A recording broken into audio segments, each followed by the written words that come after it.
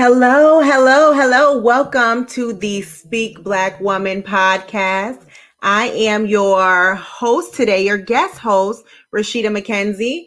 Um, I am sitting in for Quinn, who is celebrating the life of her aunt. Some of you may have seen uh, the announcement, so make sure that you leave her some well wishes so that she knows that she is with us in um, the comments today. But for those of you who I have not had the pleasure of formally meeting, I am Rashida McKenzie, and I train highly ambitious women like yourselves how to crush your goals in 60 days or less so that you can stop existing and start living at an elite level. So, I am so excited to be here today because the topic that we are going to talk about is so fitting for what is happening right now. We are in quarter four and uh, what we're going to do. And just a reminder so if you um, are going to leave a comment, make sure that you are, you click the link at the top to look at StreamYard so that I can see your comments and that we can have a conversation during this podcast uh, today. So, as I was saying, what we are going to talk about is why women in business should wear a sports bra. There are three reasons why women in business should be wearing a sports bra. Now, some of you are like, hold up. I thought this was about, um, I thought this was about speaking in business, and I'm going to show you how the two correlate. But first, I want to know any of you watching, how many of you guys have had an experience playing a sport? So if you played a sport, I don't care what level it's on, if it's um, intramural or it goes back to Little League, I want you to drop an emoji in the comments on the sport that you have played or just type it and let me know what sport you played. Hi, Juanita, and hi, Robin. Thank you for joining.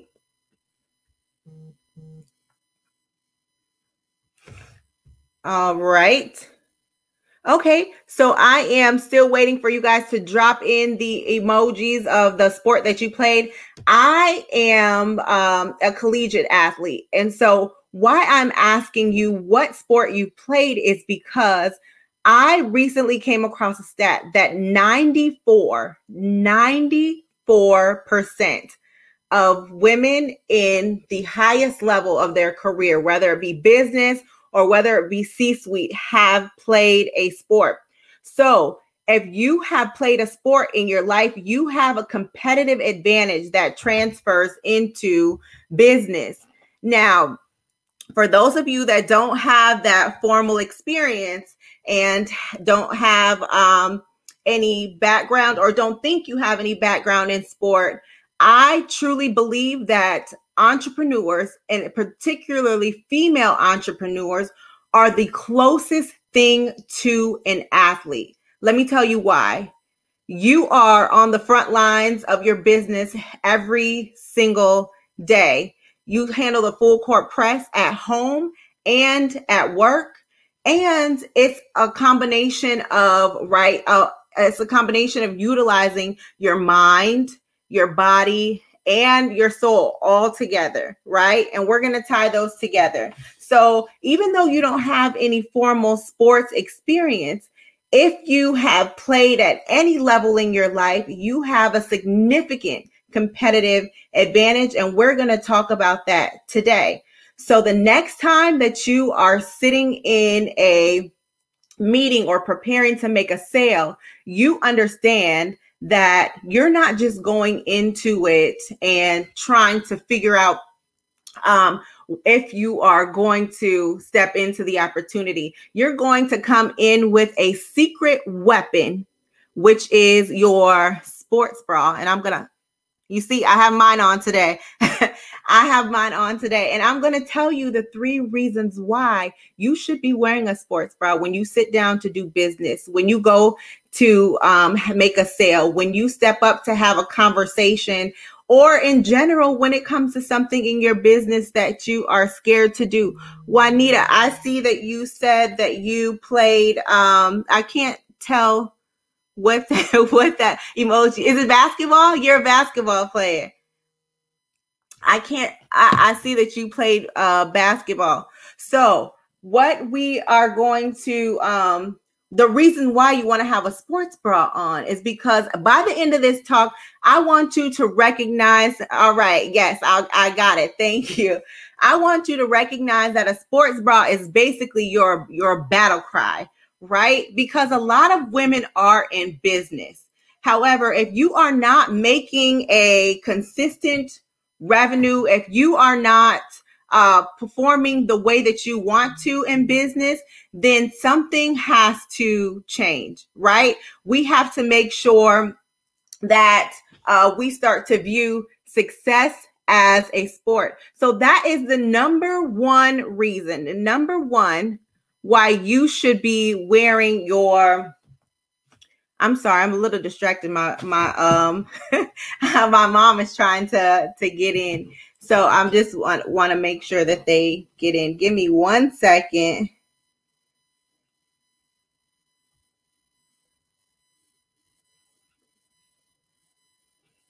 Sorry about that, y'all. Okay. So, um the number one the number one reason why you want to be wearing a sports bra when you go when you sit down at a meeting when you sit down um, at a to to make a sale is because success is a sport.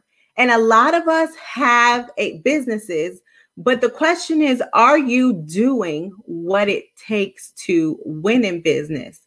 And what i've noticed is that a lot of us as entrepreneurs are willing to get in the game, but then once we're in the game, we tend to sit on the sidelines and wait for somebody to either make it happen for us or give us permission to really go out there and play. So what happens is is that we are afraid of criticism. And that is what keeps keeps us on the sideline. When i was playing um last year i was invited to play a intramural not an intramural a charity basketball game. And i was so nervous about playing this charity basketball game because i hadn't played basketball or sports in I don't six, six, seven years since I left college. And so the first time I attempted to play, I went out there and I had a couple of good games. Things were going really well. I was um, scoring. And so I convinced my husband to come and see me play. And uh, in that game, I went up for a layup and I pulled my hamstring, y'all. I pulled my hamstring. And so I was super embarrassed. I had to get carried off the court like it was an emergency situation. I had to get carried off the court and put in the car, and I wasn't able to finish competing in the game. And so that kind of jaded my that jaded my uh, willingness to want to get back in the game and play. And so when I was asked to play in this charity basketball game, I was like, uh, I kind of started thinking about what happened last time. And so I thought about it and I decided, you know what, I'm going to play. But the day of the game came and I had to really give myself a pep talk about forgetting everything else that had happened and going out there to play. So what I told myself was is this is just going to be for fun. I'm going to I'm going to just get out there and play for fun. But if any of you have played a sport, you know that once you get out there, nothing is for fun. All bets are off. So I went out there and I played, and I noticed at first that I was very timid. I was very timid and I was afraid of really putting myself out there because there's an audience watching. I hadn't played in forever and I was wondering if I was going to get hurt again. And so something happened and kicked kicked on inside of me where I realized that what you have to develop is what I call a killer instinct, right? It doesn't matter who's watching, who's looking. You have to learn how to love to win and not be afraid to lose. And so most of the time we go into our business situations afraid that whatever happened to us in the past will repeat itself and happen again, or we are afraid that we will fail. However, wearing your sports bra when you show up is a reminder that wins and losses are a part of the process.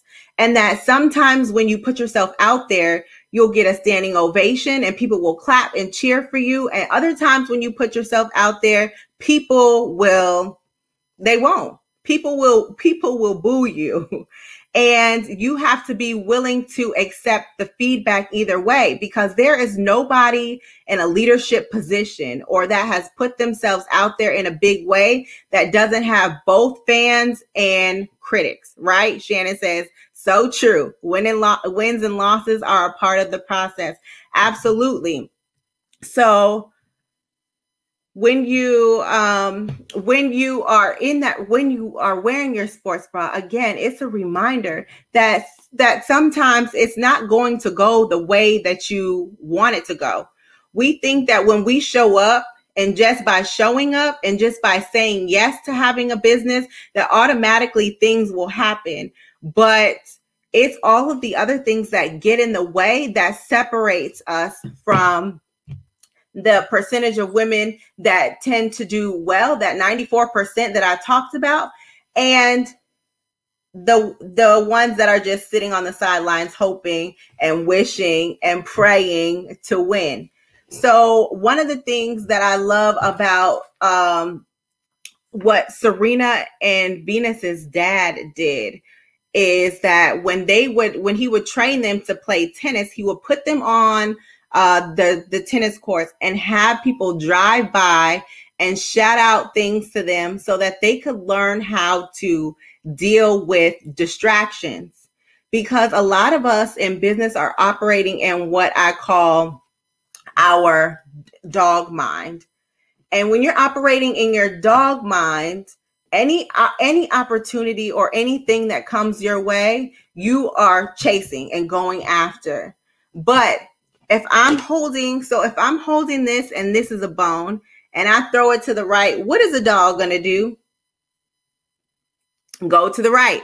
And if I toss it to the left, he's going to go that way. He's going to go whichever way I throw the bone. And so what happens in our business is that we are operating in our dog mind and we're so distracted by what everybody else is doing. And when you step on the court, Yes, Jen, you got to go after. it. When you step on the when you step on the court, when you step in the arena, you have to be willing to operate in what I call your lion mind. That means it doesn't matter who's sitting in the crowd or what people have to say. You are operating at a level where if you're a lion and you see this same bone and I toss it to the right, what is a lion going to do? Put in the comments, what is a lion going to do? A lion is going to stay right where it's at because it sees that there's a bigger bag of bones right in front of it right the the lion is is going to be so focused on what's happening in front of it that it's not worried about what other people are doing so so the second reason why we need to wear our sports bra as business women is because we need to learn how to value function over frill. Function over frill. What does that mean?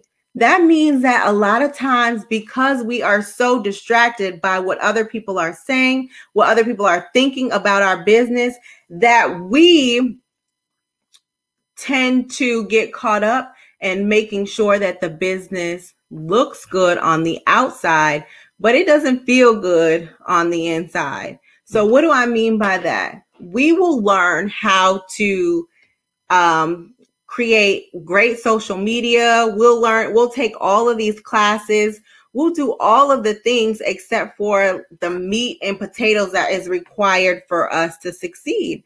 And so oftentimes we don't take the time, like we just jump in, but we don't take the time to create and lay the foundation that is going to lead us to success. So, one of the things that we have to learn how to do again is train our mind because our mind, just like anything, just like any other exercise you have to do, right?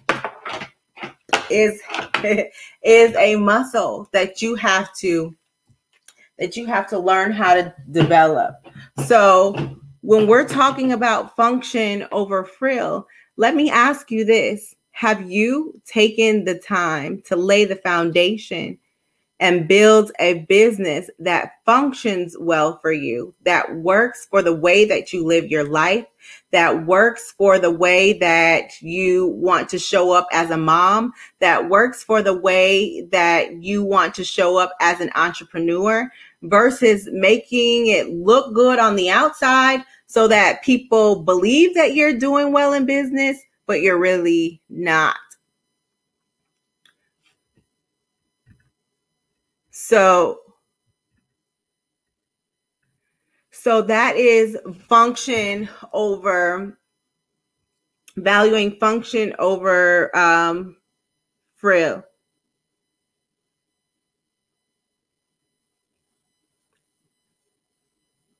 So I'm sorry, guys. Give me one second. I'm having a bit of a um mom life, man. Work with me, mom life. I let uh, my mom is here so that I can participate in these podcasts and do these things today. And um, apparently, she they went to the park and locked themselves out. So now that now she's trying to figure out how to get in. So let me buzz her in so that we can get back to our conversation. Sorry about that.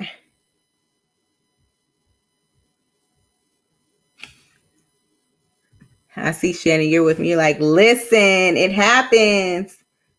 Okay.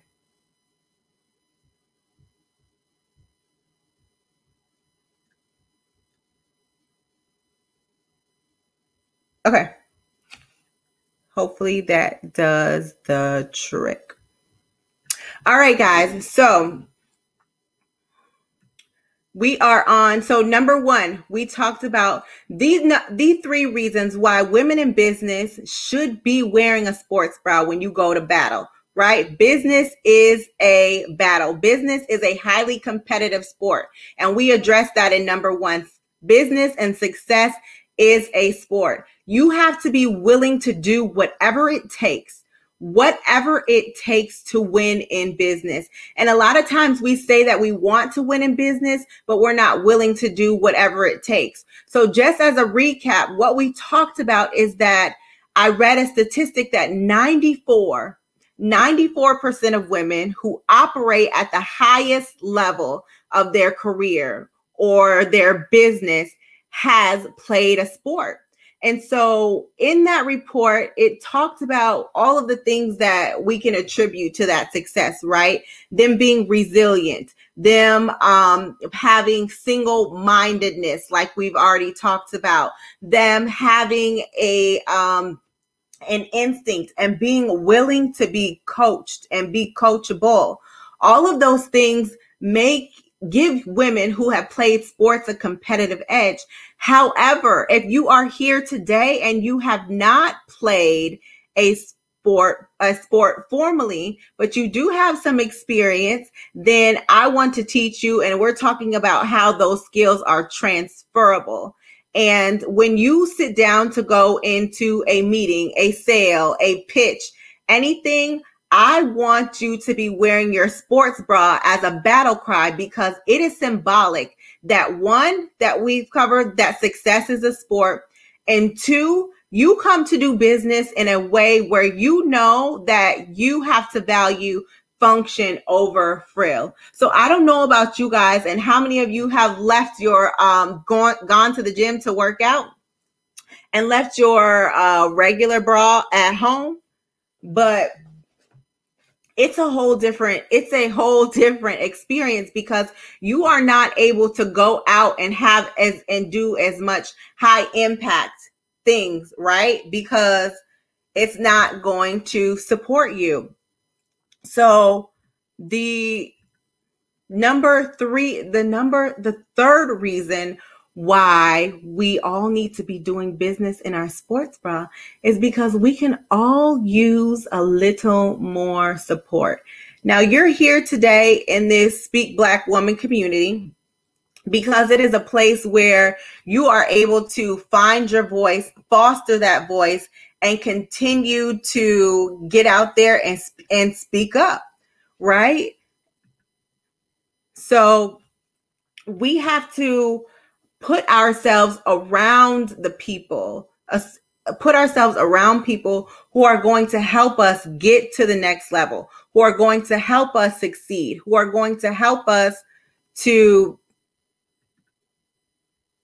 who are going to help us take our our our lives and our leadership to the next level. Because it's not the 94% that really stood out in that statistic because only 6% of women are doing business at that level and less than 2% hit the $1 million mark in their business ever. So what does that mean? What does that mean for uh, for women in business and why is it that we aren't we are in the game we have made strides and come so far and have taken over in areas that we weren't allowed to, to to even play in before but we're still not reaching our revenue goals and the goals that we want to um, set for ourselves.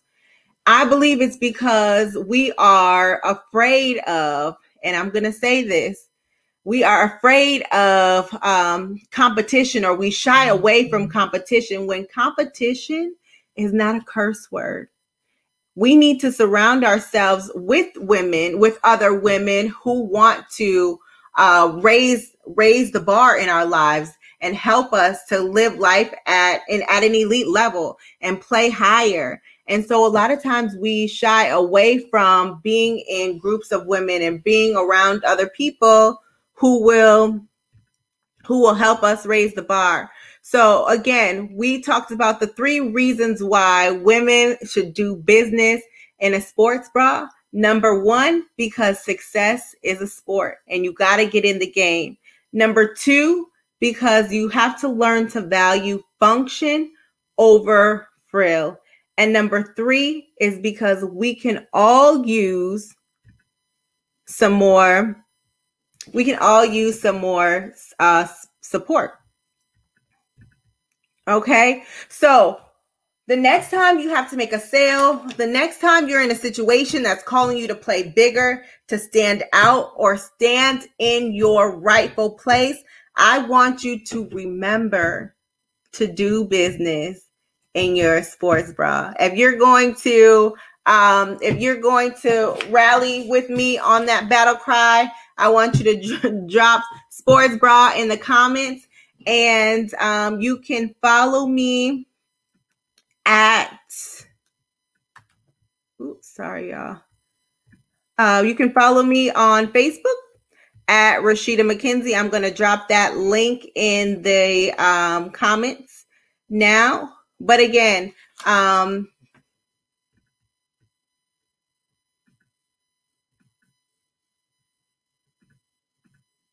again, anytime that you have to step in a room, the next time you got to make a sale or be in a situation that's calling you to play bigger, make sure you wear your sports bra. You can follow me on Facebook. Quinn will be back next week. Thank you for allowing me to be your host on this Speak Black Woman podcast. And I look forward to seeing you around these parts later on. All right, guys, have a great day.